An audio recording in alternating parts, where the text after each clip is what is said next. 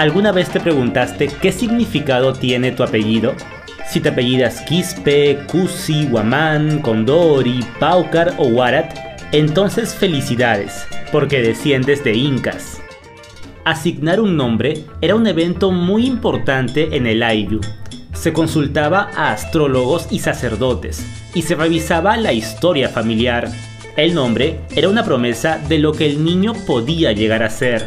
Los incas tenían la costumbre de darle al niño un nombre provisional al nacer. Este nombre era una defensa mágica contra las influencias negativas o el mal de ojo.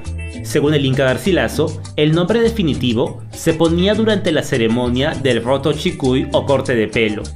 A los dos años le trasquilaban el cabello con que había nacido. El padrino le daba la primera tijerada y le ponía su verdadero nombre. Repasemos algunos de los nombres más escogidos.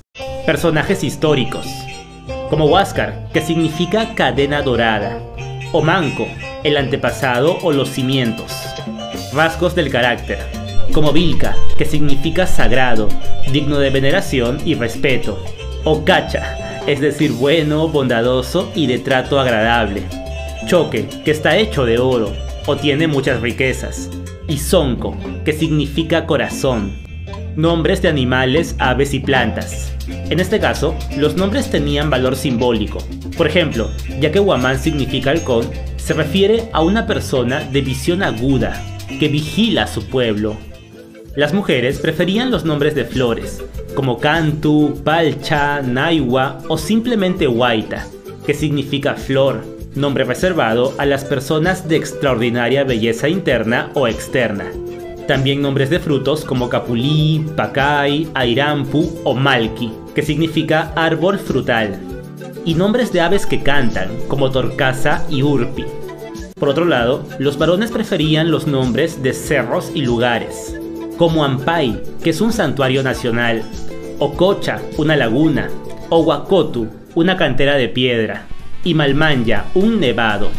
A veces estos nombres derivaban en otros más complejos, como Orcosupa, compuesto de orco, que significa cerro, y Supai, demonio, lo que da como resultado el demonio de los cerros o el demonio de las montañas.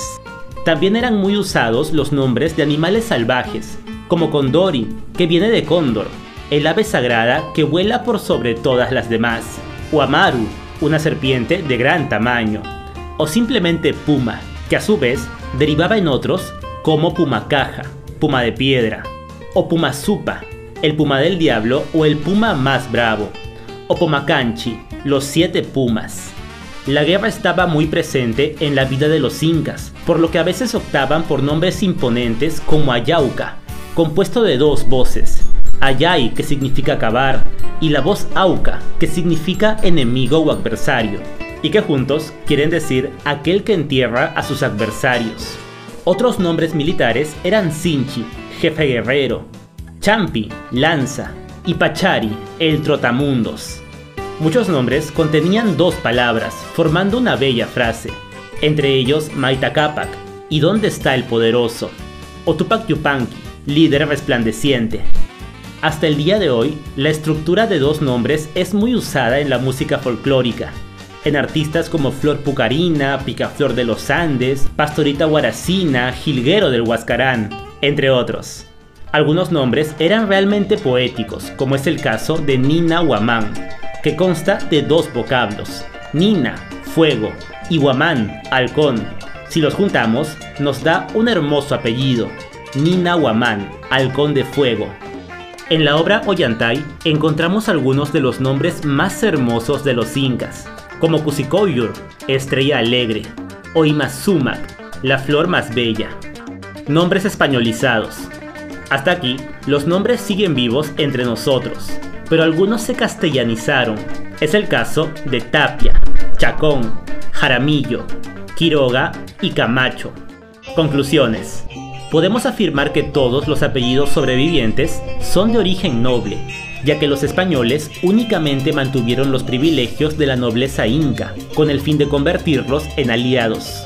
El resto de la población adoptó el apellido de su capataz y borraron para siempre sus antiguos nombres quechuas. De modo que si tienes un apellido quechua, lo más probable es que provengas de una familia que haya pertenecido a la nobleza inca.